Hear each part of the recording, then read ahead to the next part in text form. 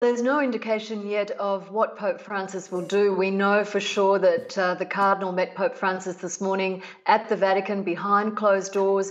Uh, we understand he moved to tender his resignation, but there's been no formal confirmation of that. And does that mean only uh, resignation from the Archdiocese of Lyon or also uh, resignation from the College of Cardinals? We don't know.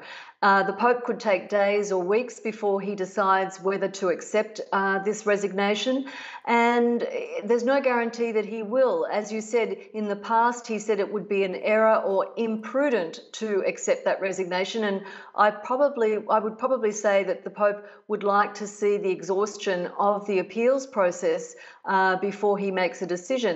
Having said that, we've already seen a case in Australia uh, where an Archbishop Philip Wilson uh, resigned after he was found guilty of covering up sex abuse.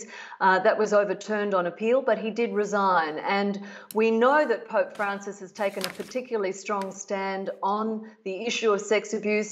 He says he's committed to uh, eradicating the, what he calls the scourge of abuse and any kind of cover up within the Catholic Church. Indeed, eh, that is exactly what he is saying. But in reality, can the Pope really and can the Church really move past this scandal, which just keeps growing and growing? Well, it does, and it looks like it's going to get bigger before it gets any smaller because we've got several inquiries underway in the United States, and it's as if there are these little forest fires happening in various countries uh, that the Vatican is, is struggling to, to control and um, root out the corruption and the sex abuse that has been ongoing in many different places. Now, the Pope did take a strong stand last year in forcing the resignation of several Chilean bishops.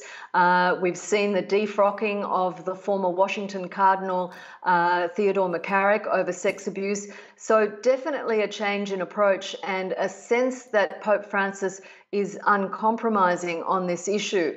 Even though there is still plenty to be done, uh, he did hold that four-day press, uh, four-day uh, conference at the Vatican in February trying to get that message out to various bishops in different countries that it is no longer tolerable to have any kind of sexual abuse underway uh, from clerics and certainly unacceptable for any kind of cover up within the church. But I think the Pope would probably be the first to admit there's still plenty to be done at this point.